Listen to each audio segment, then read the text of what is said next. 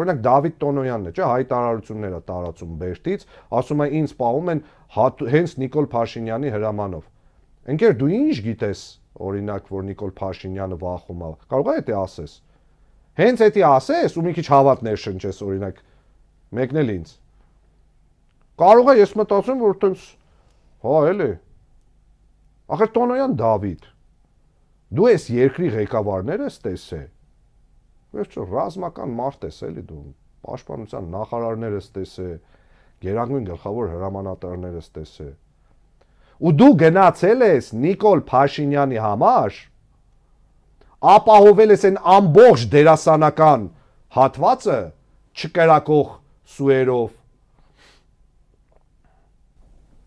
իմ, մտքից դուրս չի գալիս այն կադրը դու պետք է հիշես երբ որ գնում է մի հատ զենքա որը նույնիսկ չգիտի նշանը ոնց է բռնվում այդ զենքի։